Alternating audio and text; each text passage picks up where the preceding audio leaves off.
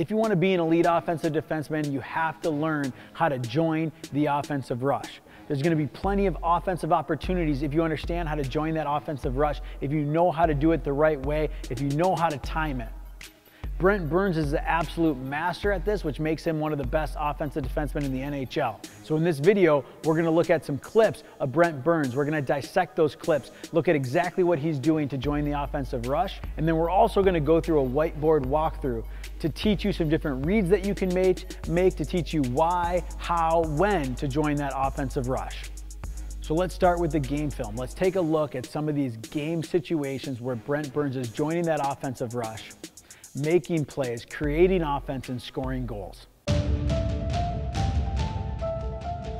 Here we're going to see Burns following up that rush, getting the pass here. Catch, shoot from the high slot, buries it. Now look where he's at right here, okay? Here he is with that puck at the top of the circles. He's making that pass in the, the neutral zone. And in order for him to get in position here, he's got to be hauling. Right at that blue line, he's catching that puck. So he had to haul up ice to get into position there. So he's not just staying back, he's hauling up ice, and then he makes that quick release snapshot. And look, he's got space here. He's got some space between him and the shot blocker, but he decides to shoot that puck quick and early to make sure he's getting that puck on net. He's the last guy back, right? Here we have four other forwards here and a defenseman. So he's making sure to get that shot on net. He's making sure to get that shot through and he's scoring the goal. So in this example, there's going to be a little turnover here in the neutral zone, okay? Pavelski's going to pick off this D to D pass. And again, instead of just waiting back and watching Pavelski try to make a play here, Burns is going to move up, help out. You know he's yelling for the puck because look, Pavelski isn't even looking at him when he makes this pass here. Okay, so you know he's yelling for that puck. And then again, instead of trying to make a fancy move right here, right? He does. He's got these defensemen flat-footed. He's got this guy flat-footed. But instead of trying to make a fancy move, he has a pull, a shoot to get that puck through, and finds the back of the net. So not only is he stepping up into that play, but he's making the smart decision to rip that snapshot, getting it past the shot blocker. So here we're going to see a turnover by Pavelski. Picks up that puck, Burns is coming up, yelling for it, yelling for it. He feeds him with that no-look pass because he hears him yelling. And then we have a pull with a quick release snapshot. Finds that lower corner.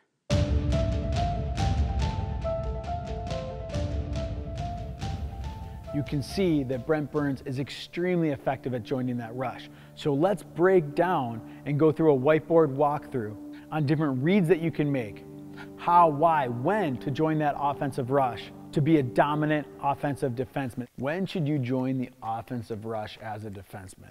So that puck's breaking out up the ice. When should you join the offensive rush? There's two things, right? One is either you made the breakout pass or you made that neutral zone pass. So you're that uh, defenseman that made the pass and now you're sitting here going, all right, should I follow up that rush? Answer, yes. Always follow up the rush as much as possible after you make that pass. Okay, the second option is that you're the weak side defenseman. Okay, so the defenseman on the other side, and again, we could be talking about a breakout here, we can be talking about a regroup in the neutral zone, but you're the weak side defenseman. So your strong side defenseman, either you go D to D here, or your strong side defenseman comes back, you're supporting, you see them make that pass up. Should you join the rush? The answer is yes, you should join the rush. And the key is, what do I mean by that? Well, the one thing that you want to focus on is as soon as possible, you want to move up that ice and get as tight as possible to those forwards. And again, we're not talking about getting in front of the forwards. We're not talking about getting in front of the puck right now. We're talking about following up that rush. That's putting yourself in the right position. So as your forwards are attacking that offensive zone, you want to put yourself in the right position to be able to fill in as that fourth trailer. Now, the only time you don't want to make that play is if your other defensive partner has already joined the rush. So you don't want both of those defensemen, in most situations, you don't want both of those defensemen up in that offensive rush because you at least want to have one safety valve. So if that's not the case, you want to be right there. So as soon as you make the pass, boom, you're going. As soon as you're the weak side defenseman, as soon as your other defenseman moves the puck up ice, boom, you're going. Now the idea is follow up the rush as tight as possible without being a defensive liability. So still make sure you're in a good position to play defense. Okay? Meaning that, like I said, you don't want to get in front of the puck. You want to be behind that puck, behind your forwards, but you want to be up tight. This is also going to put you in a great position defensively. You hear if you move yourself up that ice, tight to those forwards, you've tightened this gap up enough, whereas if there's a turnover here, you're in a good position to play that rush going the other way. So you always want to be up in that rush as much as possible. You have to be aware of this situation as much as possible on breakouts and in the neutral zone as that puck's moving up the ice. You want to either anticipate as a weak side defenseman, you want to anticipate and start moving up with the rush. As the strong side defenseman, you want to use that momentum. And even if you're at a stationary position, even if you're making that pass completely stationary, I still want to see you start to accelerate, quick strides, get up as close as you can to those forwards and move up the ice. Don't stay back. Staying back is going to do two things. One, it's going to take you out of the play offensively. You'll never have that opportunity offensively. And two, it's going to put you at a defensive liability. The further are you back, the further back you are as these uh, forwards are skating, if there happens to be a turnover, if the other team happens to come back the other way, this gap here between you and that puck is going to be a defensive liability because now you're at a stationary position and they're going to have momentum going the other way. So, two important facts there. You have to always be focused on joining the rush, always be focused on getting as tight as you can to those forwards, and don't get caught uh, flat footed. Don't get lazy because you're going to be at a weak position defensively. Joining the rush is going to put you in a strong offensive position and a strong defensive position. It's one of the best habits that you can get into. As you're joining the rush, you're coming up the ice, all right?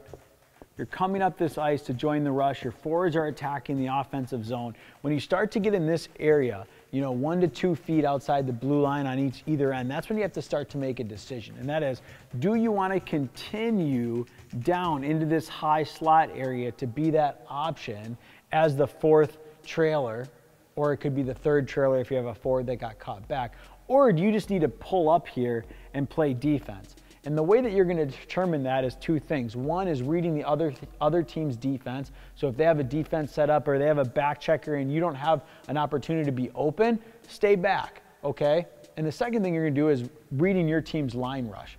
All right? As your team's entering the line rush, is the puck in a good position on the outside of the rink? Does the forward have some time and space to be able to get their head up and make this play? And if that's the case, and both of those two things are good, you have um, you have an opening here because there's not a good back checker on you. You have some, some time and space, and your forwards maintaining possession of the puck. Great. Continue down and let this line rush play out. Make sure you're yelling, okay? A lot of times, these forwards here don't have the opportunity to get their head up to see somebody that's behind them. So make sure you're yelling for that puck. Again, communication is going to be key if you want to get the puck in goal scoring situations. So yell, let them know that you're high, let them know that you're available. Now you're going to come into this area.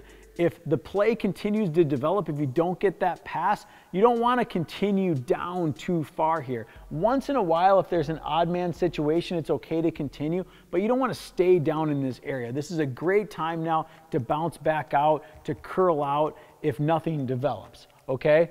So we're making that decision at the blue line if we want to continue down by reading the back checkers and reading the, the possession of our forwards. And then once we get into this high slot area, we're going to make the decision if we're actually part of that rush and we want to continue even if we don't get the pass or if it's a good time to peel off. 99% of the time, you're going to want to peel off there and go play back to your defensive role if you don't get the puck. Maybe 1% of the time is an opportunity there to continue to engage in offense. Also, it's the situation of the game, right? If you're down by a goal, if you're down by two goals late in the third period, you're going to want to continue to maintain offense down here, right? If you're up by a goal, you're definitely going to want to peel off and go play defense.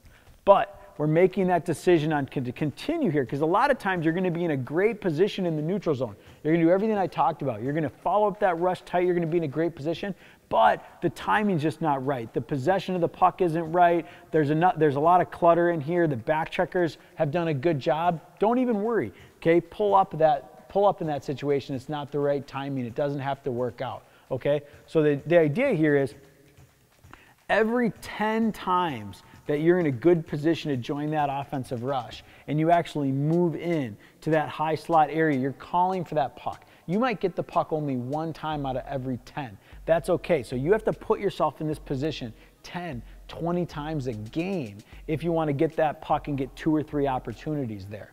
All right, so don't get um, discouraged because you're not getting the puck every time you're open, every time you're that high forward. Think about it. Every 10 times you're going to put yourself in a good position and you're open and you've decided to continue in and get be open to that high slot and you're yelling for that puck, you might get the puck once. But that one opportunity could be the goal. That one opportunity is going to be the scoring chance. All right? So 10 to 1 ratio, have that in the back of your mind. That's how much you have to be joining that rush. That's how much you have to put yourself in the position there. You want to put yourself in this position as much as possible. Get to this point, get to this blue line point here, this decision making point, as many times as you can in a game, because at this point, you're going to decide to continue in or to pull back okay? So you want to be in a good position right here to be able to join the rush. It's giving yourself those opportunities that are key. And like we talked about before, that's going to make you a better defenseman. The faster you get up the ice, the tighter that gap is, the better you're going to be able to play rushes going the other way. Now, the last thing you need to focus on, and a mistake that a lot of players make. So now we've come in here, we're entering that uh, offensive zone. We're in a good position. We have the puck carrier attacking wide. We've made that decision to come in here, and now we're calling for it, and we're going to get that pass. So we're getting that pass in this high slot area. Too many defensemen are going to try to get this puck and get the perfect shooting opportunity. They're either going to try to come in and stick handle here, continue to carry the puck down too far low. We have to use a catch and release shot here, okay? The majority of goals that are scored at a higher level from that defenseman coming in are either going to be one timers or catch and release shots. So even if you have another player coming on you to block that shot, use them as a screen. Shoot that puck, catch and release. If you're shooting it on the, if you're catching it on your forehand side, get that puck behind your body, get your weight in front, release the shot. On your offside, catch and release. All right, get that in your mind. It has to be something that you've thought about. It has to be something that you're planning on doing Otherwise, you're going to get into that situation. You're going to try to overhandle the puck. You don't want to overhandle the puck in this area, okay? No, no overhandling the puck. We want to get shots to the net. We want to catch and release, quick shots. Don't overhandle the puck. Don't try to come continue skating in for the perfect shot because everything's going to collapse on you here, okay? This is that high urgency area. So, avoid that mistake. If you want to make plays, if you want to score goals, work on that catch and release shot from this situation. You get that puck in the high slot, catch it, release it, get the shot off. I hope this video helped you, and I want to tell you how you can even get more training like this. We have a free Brent Burns challenge. All right, so this is free training that we're going to take you through to level up your game, level up your training, and dominate from the blue line, just like Brent Burns. So you can go to 247hockey.com slash burns. You can type that in right now, 247hockey.com slash burns. You can also click the link in the description.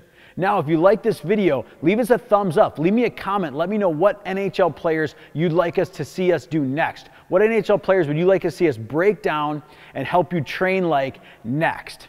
Now, also, if you want to access that challenge right now for free and get started, click right on my face. It's going to take you right to that free Brent Burns challenge. Seriously, click right here. All right, right here. Seriously, you're going to love this free challenge. Click right here.